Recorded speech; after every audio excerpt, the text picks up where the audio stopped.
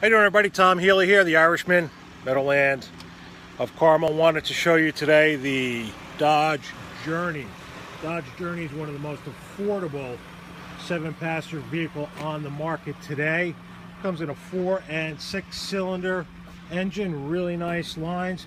Vehicle competes in the small crossover segment. Chevy Equinox, uh, Ford Escape, uh, Kia Sportage, this is a Crossroad model, which is really a beautiful model.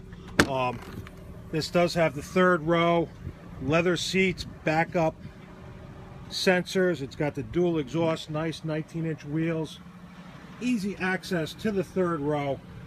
Right from here, fold and tumble seats. Interior is beautiful. Keyless enter and go is standard. The Uconnect 8.4 inch screen with navigation is available uh, with the Uconnect apps.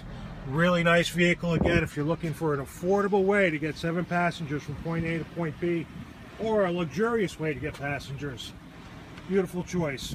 That's it. Talk to you soon. Take care.